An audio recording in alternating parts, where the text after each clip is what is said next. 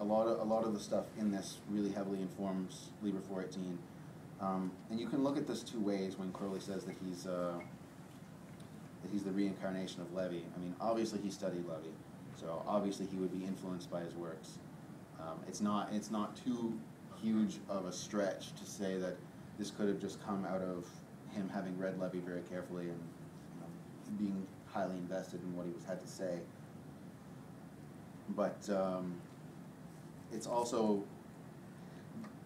the parallels go to the point that it seems a little bit more than just um, a written influence. So as I said, I do tend to be critical of claims like this. However, in this case, I do think that it holds water. Um, another good example would be um, Crowley's take, or sorry, Levi's take on um, India, which he he has this whole sort of history where um, the children of Cain migrate there and migrate with the tribes, or, and meld with the tribes of Abraham. He identifies Shiva with um, Ahriman from Zoroastrian mythology, which is kind of a leap, but again, like most of Levi's um, anthropological or religious studies work is sort of um, very armchair. I don't know if he ever even left France at this point. Um, so he is speaking metaphorically, but also um, it's interesting that he introduces these ideas. It really wasn't popular in Levi's time to talk about the influence of Zoroastrian mythology on Christian dualism. Um, and just uh, to briefly break it down, in Zoroastrian mythology, there's a light god and a dark god, and they, they are at war with each other constantly, um, which is not technically in Christianity, it's not technically in Judaism. God and Satan are not at war. Um, that's not supposed to be part of the system, but it became because of um, the Manichaeans, who were an early Christian sect and had a lot of influence in the way things developed. Um, that that idea sort of got stuck in there, and then it got picked up very strongly by um, Jonathan Edwards, uh, who uh, was sort of the first revivalist preacher. He wrote a tract called "Sinners in the Hands of an Angry God," uh, and he used to go around the states talking about this. Uh, he was the first fire and brimstone kind of guy, where that was not a like, it's not a powerful image before. If you look at any references to hell in the Bible, they tend to talk about a state of being that a person is in while they're alive and it refers more to this idea that I was talking about from Aquinas earlier, which is a distance from God, not necessarily like a place that you go when you die. There's a couple of uh, passages in the Gospels that can be interpreted that way, but compared to all the times that hell is mentioned and hell is talked about, it's it's negligible. It's pretty negligible. It wasn't really till Jonathan Edwards came along that people started seriously like um, embracing that idea and um, getting really into that idea of uh, hell as sort of an eternal punishment, which is kind of uh, important in terms of when we talk about the parody of a religion um, and the idea of a religion being used to control people. Um, as Levi says, uh, where did I put the quotes? Where did I put the quotes? I can't find it. Okay. Uh, basically, what he says is that the, the laws of God are here to serve man. Man is not here to serve the laws of God. That these things, like, which is a pretty profound statement from someone who was a nose hair away from becoming a priest. Um, and this is kind of the thing when, oh, this is what I wanted to say earlier. Uh, the, the, metaphor, my, my, my, favorite metaphor for religion in this context of parody is uh, like a hammer. You know, um, we can use a hammer for different things. A hammer is a tool. You can use a hammer to build a house. You can use a hammer also to cave someone's head in. Now, it's technically designed for building a house. That's real purpose. But it can just as easily be used to cave someone's head in. It serves both purposes. Um, although that's not really what it's for. Uh, and this is sort of where we come into uh, Levi's ideas of virtue. Uh, at one point, when he's talking about evocation, and this whole idea of controlled madness, he says there is nothing more to uh, controlling demons than to do good and fear nothing. And that's, I find, to be a very interesting statement. And it's very true. It's, and, and those, those two things, to do good and fear nothing, they're not easy. it, you can just toss off that phrase. It's, it sounds real good, but in actuality, um, accomplishing that is incredibly difficult. Because first you have to understand what the idea of good is, and then fear and fear is not something that is so lightly tossed away, especially if someone's doing practical magic. I mean, as someone who has been doing ceremonial evocation, I've been doing ceremony, cere- ugh, ceremonial evocation now for since 1999, however many years that is. Um, and I like I still have experiences of fear. I still have experiences of difficulty. I'm still like I'm you, you never get used to these things. It's just a matter of um, doing the yoga, having the concentration, and um, being able to use that technology without getting too wrapped up in it, or and also being able to like know how to respond to an experience of fear. Um, uh, and this is kind of like where uh, the idea of religious devotion kind of comes in and becomes a useful thing. Um, it's not just, it's not necessarily about faith per se, but it's about having something to hold on to. Uh, at one point, uh, Levi says, um, man is a cripple and uh, walking on two crutches, which are science and religion. And there's definitely a, a point to that and something to be thought about with that. And it's, it's very true. I mean, if we don't have these things, we fall, basically.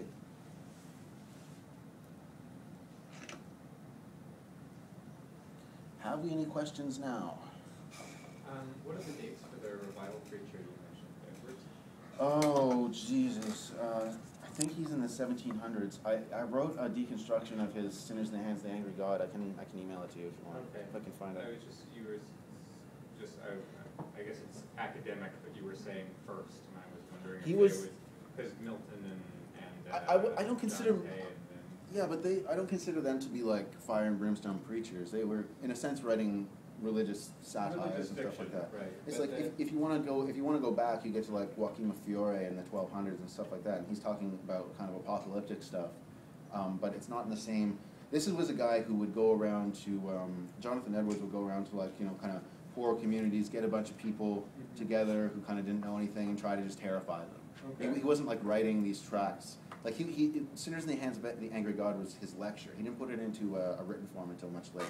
Okay. So it wasn't like a book that he did. He was he was like literally just going around trying to scare people. If you, uh, I mean, Crowley writes uh, scathing, scathing critiques of these kind of guys at the time. Because uh, I don't know if you're familiar with Billy Sunday or what he wrote about that. Um, this guy was like an ex-baseball player who was really big in the states. He was like the Pat Robertson of his day and age. This ex-baseball player who come around and uh, just have all the, just do this revivalist stuff. Like he'd tell all the women to put their knees together, and then he'd scream, "The gates of hell are closed," and stuff like that. uh, that that's the one that I remember, but he has a bunch of them. Crowley wrote quite a bit about him. There's a, a few other um, a few other writers. Actually, one, my favorite fiction writer, P.G. Wodehouse, has sort of a send up of him as well. Although it's Billy Monday in his story, but yeah, it's kind of it's amusing, amusing stuff. But um, yeah, uh, Jonathan Edwards was kind of like the guy who came up with the whole let's go around and just terrify people, as opposed to like Milton is writing for someone who's like educated and Right. knows what's going on and can appreciate literature and stuff like that. Okay, Yeah, that would be the distinction I would make there. okay. Um, yes, where did I put that? Yeah, I don't know, how are we doing for time here? In about an hour. I think it's good enough to do discussion time because I, uh, I get sick of listening to myself talk. So how old was um, Eliphas Levi? He went into the priesthood in his earlier life, and he um, got into. He was exposed to magic through uh, Rosicrucianism. Uh, we don't know exactly how he was exposed to magic. It was most likely because, as I said, um, priests were like selling favors and stuff like that. The, the whole thing was that if you were ordained as a Catholic priest, you could have the communion wafer, and that was considered to be a, a source of great magical power. Mhm. Um, even before the revolution, that you would have aristocrats paying priests off to like do like destruction rituals on their aristocratic enemies by uh, invoking the devil and burning the wafer and stuff like that. Like this was there was a huge current of Satanism in French Catholicism that was happening uh, for many years before that, and simply by because um, all the property was taken away and the ability to tithe was taken away. Essentially, the the uh, the French priesthood lost all its money, so you just had a huge upshot of this. So whoever could still afford to do stuff like that was doing stuff like that. So I imagine and especially, I mean, this was 20 years before uh, Levi was born, and I, he was pretty young. I think he was about, I think, look, he was studying seminary, obviously, when he would be like, probably like 16, 17, I believe, if I have that correctly. Um, and I think that he left when he was like 20, 21. Again, I'm not, I'm not exactly ironclad sure on that. But um, yeah, like there would have been a lot of occult activity happening at the time just because the priesthood was in such dire straits and they, they couldn't rely on their normal sources of income, so that's kind of what they would do. So within the priesthood. So how does that relate to um, Catherine Deshayes and that group? Like, um, what was the progression of time? So Eliphas Levi was about, um, he was after this, right? Uh, he was um, he was 65 and he died in 1870, so Oh, okay, yeah, so, we, so- yeah, it's quite a bit further. Yeah. yeah. And this is more like the Francis Dashwood sort of era. And yeah, like you, you and you know, you had a lot of uh, a lot of like problems with the priesthood, and, and Levi's kind of interesting, and he's like the one of the few people like you can read people who are writing around his time that were really critical of the revolution, and you can read people who are really critical of the priesthood. He was kind of the only person who was critical of both of them. He's kind of like, you both suck which is why it's kind of interesting to see that. And part of the reason I think he was such an influence on Crowley, because Crowley was a lot like that as well. He was a huge social critic. Mhm. Um, and this is what brings me to like sort of my initial point when I was talking about you know in our culture like we can't criticize democracy. It's not considered to be acceptable. But realistically speaking, look what it's doing. Yeah. it's kind of having a pretty negative effect. And that, that um, which is very strongly on the point of what I was saying about the, the great devils, how their purpose and the purpose of evil in the world essentially is to suck meaning out of people's lives Mhm. because people are horrible when they don't have meaning in their lives.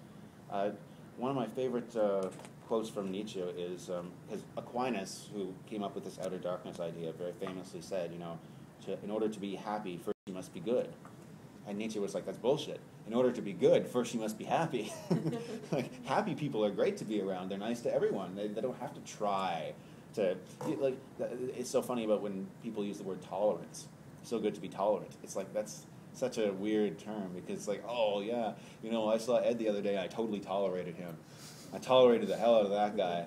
It's, it's sort of got a negative connotation to it already because the idea is you don't have to tolerate things that you like. You don't have to tolerate people that you like. That's not where you, to, you only have to tolerate things that you don't like. That's the, the underlying purpose.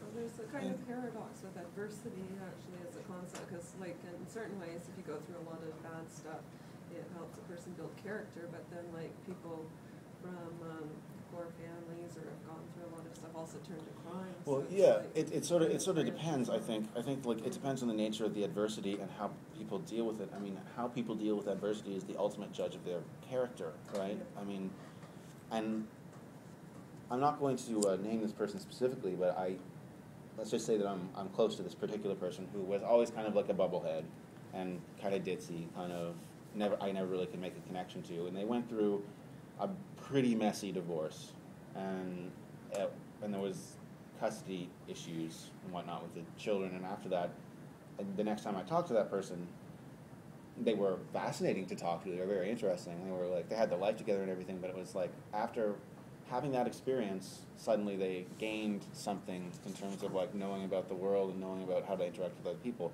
When Crowley um, had his initiation, like the way that the AA system works is like the second highest grade is Magus, and when he did the Liber 418 stuff that we were talking about before is where he got initiated into the grade before that, or Master of the Temple. He talks about his initiation to the grade of Magus as being essentially like one of the hardest times of his life because he felt that to identify with everyone, he had to go through everything. So he had to experience he extreme experienced like extremes of wealth and poverty, extremes of you know like alienation, and then other also being like in high society and stuff like that. Like it went right back and forth very severely, and he said that this was because he had to know what everyone was going through to be able to, you know, experience all human interactions.